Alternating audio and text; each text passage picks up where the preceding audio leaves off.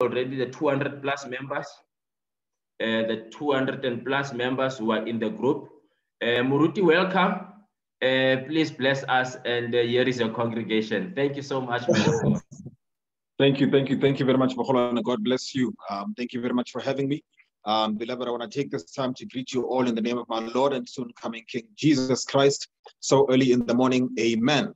I'm quite excited about the brief message that uh, the Holy Spirit has laid upon my heart this morning, and I'd like to share it with you. I'm going to be quite brief and straight to the point so that we may be able to break uh, into our breaking rooms and have a season of prayer. Now, we speak in this morning um, about an aspect of spiritual growth that many of us are not aware of.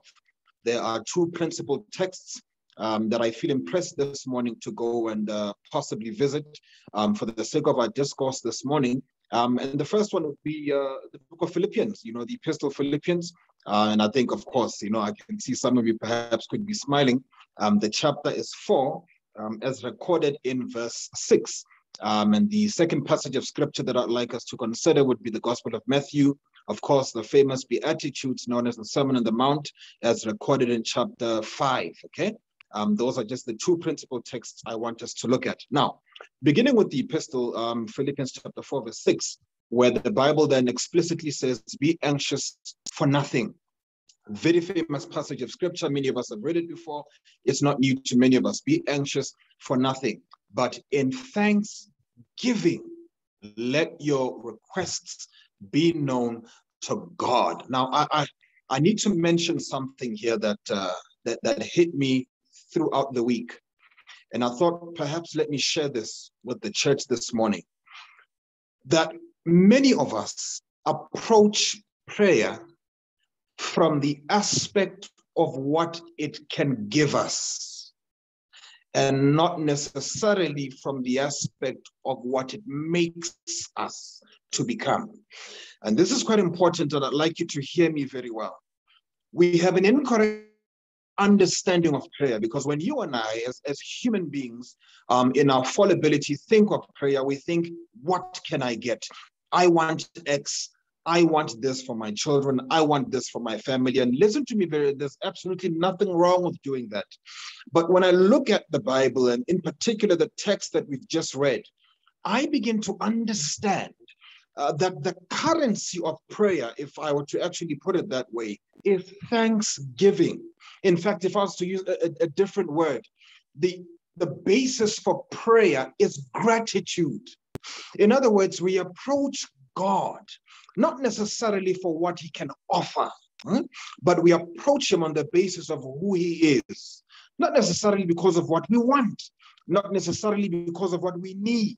We commune with him in prayer because we are grateful for what we have independent of what we are about to request. Now, this blesses me because it effectively means when you wake up in the morning, you have got something to thank God for, irrespective of what you think you lack. And I'm going to make an example. When you wake up in the morning and you look at the type of car that you drive, um, the truth is there are far better looking cars and faster cars. But if you if you look at that car from the aspect of thanksgiving, you are thankful to God for the fact that you have a car. You can use this principle and apply it to a house. You can use it and apply it to a job. You can use it and apply it to your clothing, to every single thing that you have. That when we begin to understand the power of gratitude, the power of thanksgiving, we wake up in the morning, we say, Father God, thank you. Before I can tell you what I want, before I can tell you what I need, thank you for waking me up. Thank you for what I have. Thank you for the blessing of my children. Thank you for the blessing of health, gratitude, thanksgiving. I submit this morning is the very basis, if not the currency of prayer. This morning, I'm challenged when I look at the impact of 2020 and the impact of 2021, not just on livelihoods, but also on mental health. Okay.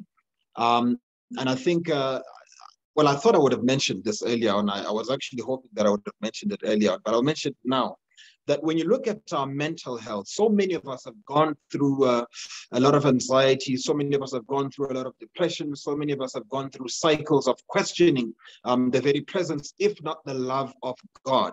And I want to go to, um, you know, the Gospel of Matthew is recorded in chapter five, and I'm about to spend just a few minutes there to just show you that when we look at the impact of 2020 and 2021, which I submit perhaps is far worse um, than last year, there is something that you and I can be grateful for.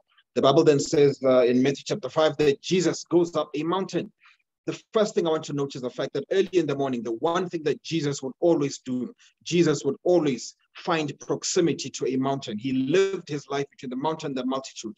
And so many of us spend our time within the multitude that we do not have moments of isolation at the mountaintop. And when I speak of mo moments of isolation at the mountaintop, this is not just a physical mountain, but this is actually a metaphor for prayer that so many of us are constantly the presence of people and constantly the things of, of, of, of this world and work and all of this that we never have moments of isolation where we just simply pray and commune and spend time with God. I'm about to give you four beatitudes, and I, am choosing four not just because of time, but because of all the beatitudes that are there. The first four I personally believe are actually the uh, you know, the most powerful, if not the most practical. Um, the Bible then begins to say in verse three, blessed are the poor in spirit, for theirs is the kingdom of heaven.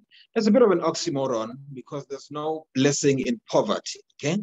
Um, poverty is not uh, it is inhumane. No one wants to be poor. Okay. Um, the Bible then comes in and then says, "Blessed are the poor in spirit." Now, what does it mean? To be poor in spirit. Now, when we speak of poverty in our economic understanding, poverty would be economic dependence or material dependence. Okay. When the Bible speaks of the poverty of the spirit, I, I submit that the Bible speaks here of a spiritual dependence upon God not just for sustenance, not just for growth, as we speak about spiritual growth, uh, or for development, but spiritual growth begins to show us that when you are poor in spirit, you effectively, the inner person that the Apostle Paul speaks of, is dependent on a power that is greater than you, dependent on a power that is greater than your job, dependent on a power that is greater than your education or your own power. The poverty of the spirit is waking up to understand your emotional or even, uh, uh, uh, you know, um, if I can say, spiritual dependence on God for sustenance. We wake up in the morning, our ability to go throughout the day is dependent on our connection with God. So many of us are shocked when we look at the impact of the two years um, that we've currently experienced, where you know the, the level of expertise that we have has not really helped us to survive. Poverty of the spirit is when we wake up and we depend on God to strengthen the inner person. For when the inner person is strong, it does not matter the decay that is outward or external or in the physical. We daily become strong. We are able to ward off diseases. We are able to fight off discouragement and depression. The Bible then notes something and then says, These people, rather, these people who are poor in spirit, it is theirs. You know, the kingdom of heaven belongs to them. I think maybe let me stay here so that I actually do justice to this one explanation. I think that you know the next coming week we'll do the others. The kingdom of heaven is not for those who are able to interpret scripture. Read the text very carefully. Um, it is not for those who sing well, and there's you know there's absolutely nothing wrong with the ability to sing. It is not for those who preach. Um, it is not for those who perhaps are educated, and and and and and. But the Bible says that it is the poor in spirit. It is those who, who recognize their dependence on a power that is greater than themselves. It is those who understand that God is not this ATM uh, machine that we go to because we need something. But even when we have everything, we still need to go to Him. To simply be in His presence is sufficient. We begin to understand that prayer is not the system that, that we go to in order to receive, but it is this communion with God that we are constantly in in order to be made. I conclude with two points. I wanted to say three, but let me make it two. The first one is this. When we speak of growing in Christ, the first word growing speaks of something that is, you know, continuing. Growth is not static, okay? No matter where you are in your spiritual walk with God, um, the truth is there's always room for improvement, okay? There's always room for improvement. Growing is not nice. Growing is actually quite painful. Growing is uncomfortable. There are seasons that we may be going through as young people, as adults, um, as parents, you know, as uh, married couples and families, and and and. And in in that development or in those cycles, in those vicious cycles, um, there are elements of growth that are located therein. Okay. And so the first point I want to tell you is the fact that grow in Christ. Your development is not static. Your development is not one dimensional. It is often painful, but in its pain, there is necessity. That's point number one. Point number two, we grow into the likeness of Christ. We are molded into his character and not necessarily into what we want. Most of the time, what we want conflicts with what we need.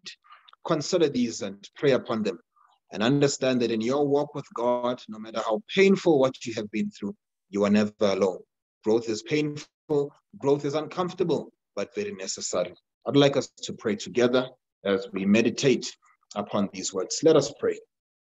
Father God, this very morning, we humble ourselves and we submit ourselves under your power and under your very authority. I want to take this moment, Jehovah, to thank you for being God, for being present in our lives. Though many of us might question your presence when we go through times of turmoil, when we go through times of failure, times of sickness or lack, but Holy Spirit, we know that you are constantly there and we are never left alone to our own devices. We ask that you may teach us how to have gratitude, how to give thanks, even when situations do not make sense. We thank you this morning for what we have. We thank you this morning for who we are. We thank you this morning for the vicarious death of Jesus Christ on the cross of Calvary. We recognize you as Lord and Savior, and we affirm that we are nothing in your absence. We pray for the sick. In the name of Jesus Christ, may you touch and heal them. We pray for those who are lonely. We pray for those who've got anxiety, who've got depression. We pray for our own mental health as a nation. We pray for those who are at work. We pray for those who seek employment. And we ask that in all that we do, may we constantly grow in Christ to give you glory and honor. The name of Jesus Christ, we pray. Amen. Thank you very much.